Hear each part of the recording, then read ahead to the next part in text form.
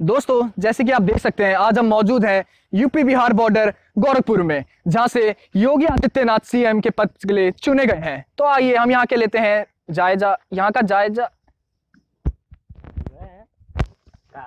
बता रहे कहाँ चल है? ए भाई बता रहे ए ए भाई। इस गंदी रुकावट के लिए खेद है। हट भाँग के पकोड़े! चलिए दोस्तों अब हम आगे बढ़ते हैं।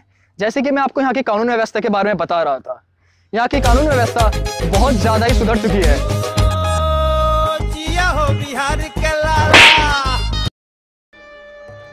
तो यहाँ लूटपाट की वारदात तुम! अरे भैया क्या हो गया? ललन को मारे! अरे भैया। ललन को मारे अरे भैया अरे अरे भैया अरे ललन को मारे। अरे माफ़ कर दीजिए। भैया का फ़ोन मिला ललन को मारे अरे भैया।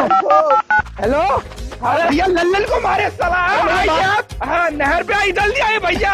अरे लल्लन को मारे आइए साला आ रहे आइए जल्दी आइए साला ये मारे इनको। अरे भैया जल्दी आइए उठाइए साला भग के आइए भग के अरे भैया कर दीजिए भैया। ललन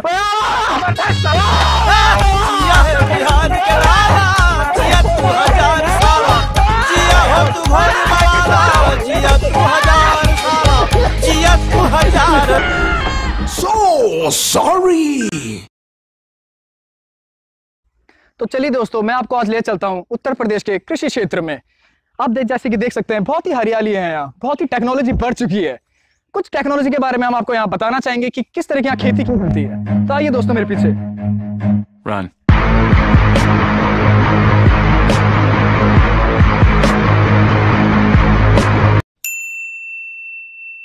तो दोस्तों आज हम मौजूद हैं।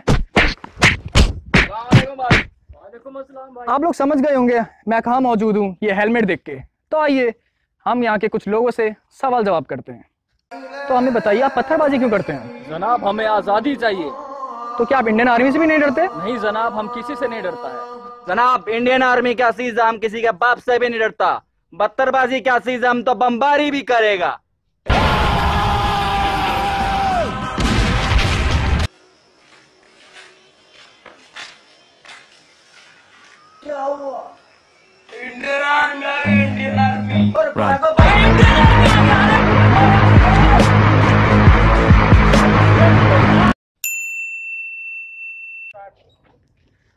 दोस्तों जैसे कि आप देख सकते हैं दिल्ली में हल्का बूंदाबांदी से लोगों को बहुत ही ज़्यादा राहत मिली है। तो आइए हम यहाँ लोगों से जानते हैं क्या रहा है? कैमरामैन अरे अरे सर मैडम आप जो भी आप वहाँ जाइए। थोड़ा बाहर आ जाना आप जाइए आप वहाँ जाइए। अरे क्या करेंगे? बाहर घुमा के लाती है तेरे को आना कौन है ये लोग? कहाँ से आते हैं ये? आइए जानते हैं। तो हम कहाँ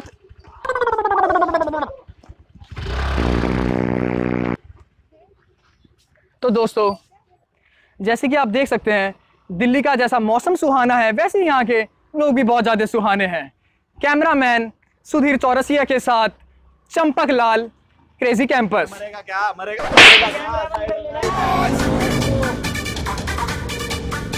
hello दोस्तों फ्रेंड्स दोस्तों ये हमारा क्रेजी कैंपस चैनल प्लीज़ से सब्सक्राइब करें लाइक करें कमेंट करें और शेयर करना ना भूलें। Thank you so much if you like our videos please share it thank you thank you so much